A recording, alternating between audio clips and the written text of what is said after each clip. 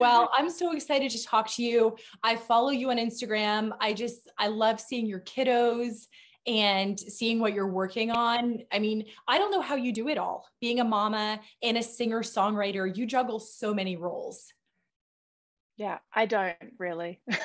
I well, I think no, I think the word you used is right, juggle. Juggling is good. I don't think whenever whenever the balance question comes up, I'm like, no, no, no there's no balancing. There's only juggling.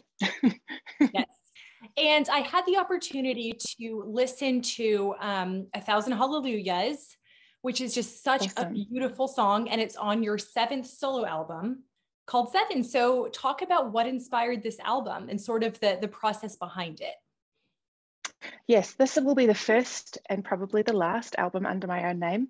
Uh, I'd never had a desire ever to release, uh, kind of like you were talking about earlier, like my like my name is me like that's who i am and that has not been uh you know on things which i am, have enjoyed um and so yeah so i this project was not my idea um but i am at the uh i i I, my life is not my own, I guess. I, I do what I'm told. And so, kind of, the Lord made it really clear uh, to my surprise, yeah, relatively recently, um, that this was something that was going to happen. Um, so I didn't, I didn't ever seek to write an album. Um, it was more like these songs came um, with, diff- with with different friends around the country, um, and I realized that that this was a thing, um, that these songs belong together and were a collective that was supposed to be out there in the world. And this was kind of, I guess, the the only avenue by which uh, to do that. And so that's what this is. So yeah, I'm still obviously um, part of Hillsong Worship and love that. Planted there. Um, Brooke Fraser, my mainstream career exists over here, and then now, um, yeah, this is for me. This is not a trajectory or a, um, a, a a page turn. This is a step of obedience, and God gets to do with it what He wants. Yeah. Yeah, that's beautiful. Now, a thousand hallelujahs. I listened to it so many times last night. You are you just have such a gift. Your ministry is such such a gift. So talk about the inspiration behind this particular song. Yeah this song is um this i think was one of the the last songs that came along and it was just such a beautiful surprise and such a blessing. Uh, so my husband scott and i um, went down to our friend Phil Wickham, who lives just about an hour down the road from us. And we were riding in um, the the church that Phil goes to, which is like this old little church hall um, in Southern California. Um, and we were, you know, sitting in the church hall with the keyboards and the guitars and this just this beautiful empty hall and kind of started talking about all the generations of people who had worshipped in this church. Um, and uh, and were so and just were so inspired by that the general the generational nature of the church of Jesus. And um, we started talking about the thousands of hallelujahs that had been sung in that room. And so that's where that phrase came from. And the song just kind of poured forth. All of us at the end of it were kind of like, did that just happen? Like, thank you, Lord. Um, and so, yeah, I feel um, yeah, so so blessed um, that that this song has been entrusted to us, and uh, and we just really pray that it's a blessing uh, for the church, and that it actually is really helpful in church services. I think this has, this song has a really um, obviously it's very joyful, it's very vertical, but has a real practical application, and we pray that it just it is actually helpful in building the church. That's our that's our desire for sure. What drives this desire to make music that is so helpful to the church that the church can use as a tool? Yeah, I think um, because I love the church, I'm part of the church, and obviously, um, and you know, I know from my own um, experience, like at the moment, um, our campus of Hillsong um, that my family and I attend, you know, we don't have a building right now. We're meeting in a tent, and so, uh, uh, so I feel like I feel really blessed to be in a position that actually probably a lot of worship leaders are, around the country uh, are in. We don't have a fancy PA. We don't have a big LED screen. We're, you know, reading, we're singing to lyrics that are on TVs, on stands. It's a really modest time. And so I think I'm really conscious at the moment of what are the songs that work in that context because they're not the songs that have five million parts and are very complex and require four part harmonies. Like they're the songs that are vertical, that point people to Jesus straight away, um, and that can sound great with just a piano and guitar if that's all you've got. And that's what, because just from my experience as as a local church member, those are the songs that we're finding are building our faith in the congregations week by week. And so I think that's why I have a real, I have a front row seat to I feel like what um, yeah what what's helpful what blesses me as a congregant but also what blesses me as a person who is then leading the congregation in these settings which have uh, been so movable for so many churches throughout the pandemic yeah, absolutely. Well, and it's also sort of an homage to the early Christians, you know, the hymn writers like John Newton and Charles Wesley, those simple songs that are just, they're just scripture. Yeah, and I love that you mentioned that as well. I was actually talking to um, someone about this just uh, just two days ago about the hymns, and um, we were talking about how um, the hymns are so powerful and have endured for so long. Um, obviously, because they're their, their, their theology and poetry so compellingly um, put forth, but also because, you know, back in the days where the hymns were circulating, it wasn't recordings that people were listening to to learn these songs. People were getting literally just the melody written down, you know, the sheet music and the words. Um, and so the songs had to be robust enough and strong enough to stand on their own with just the melody and the words, no matter whose mouth they were in, whether they were in the mouth of a gifted vocalist or just whoever it was at the local tent meeting leading that song these songs had to work so those we've seen the enduring power of songs that can do that now at the same time it's so beautiful now that we get to enjoy um, hymns modern and contemporary hymns through sound um, through Spotify and Apple Music and all of these other platforms and enjoy the gift of um, the sounds of music.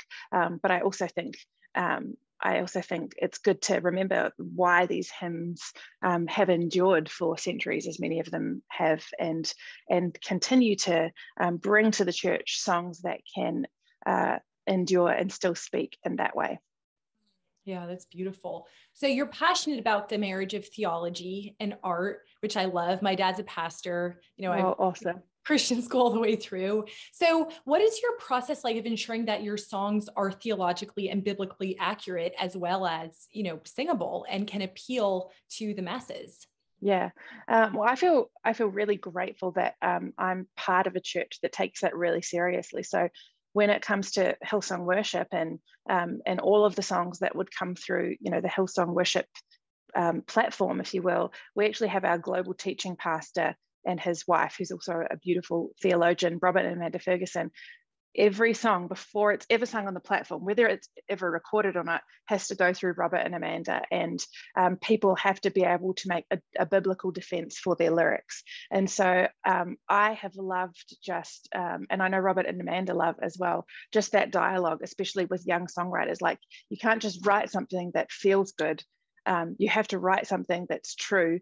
And and yes we can um, we yes we can and should use poetry and language and metaphor and colloquialism at, at, at points to be able to paint the picture um, of of uh, of the lyric that we are communicating. But at the same time if it's not if it can't be biblically defended we can't sing it because the reason theology and song is so important for the church is because you know we know a lot of people kind of have long commutes or they listen to worship as they're commuting or in the car. And sometimes they're listening to worship music uh, uh, in terms of on a daily basis more than perhaps they're spending time reading the word so that's why it's so important that, the, the songs that that people are listening to and then and of course singing out um, that, that the songs that people's souls are hearing sung forth from their mouths, that it's true because what we believe about God frames how we live for God, how we interact with God, how we interact with others, how we see the world.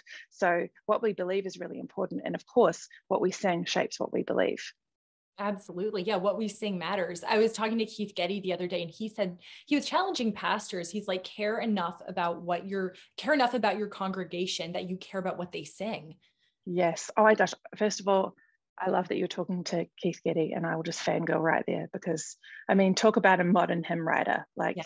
what what he has contributed to the church. I am so grateful for. There's a song actually that I one of my favorite songs by him is a song called I think it's called "Speak, O Lord," um, and it's like a hymn. I don't know if you know that one, but it's like a hymn to be sung like before you know before you partake of the word before the, the, the minister or the preacher or the teacher comes up to teach the word. And i just I, I think that's so important that we have these songs that prepare our hearts to receive the word and that the worship time isn't the whole service. The worship time is or this or sorry i shouldn't even say worship because all of the service is worship but that time of singing um, is actually a beautiful part of something greater that god is doing through the service which is part of something that he's doing in a community of people which is part of what he's doing in his church. And so I just love the way that God uses um, all of those parts of the service and all of our gifts combined to mature us as a body of Christ. Yeah, absolutely. Now, Brooke, what is your hope for the future of worship music? Because you have been in this particular field for, for a long time. And so I'm sure you've seen it change and morph over the years. But what do you hope for the future?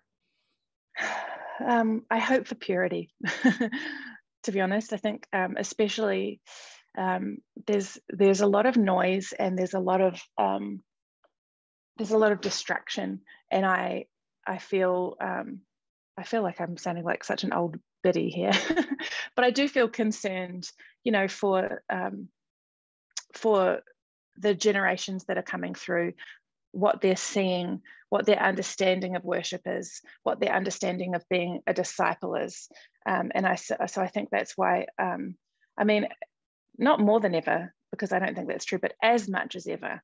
Like um, it's purity and integrity has always been, um, you know, when when those things start to fall down um, in ministry, um, God has to do something about that. And if if we're not the first to repent, then uh, eventually um, the Lord's going to have to bring some correction or allow some things to happen um, to to correct our pride or our stubbornness or um, all of these things. So my hope is um, just for there to continue to be generations who come through who um, who recognize worship as a sacred thing. It's not cool music. It's an it's an offering and it's a sacrifice and and and and not just how we bring the song of worship, but how we live worship with our lives actually really matters to the Lord.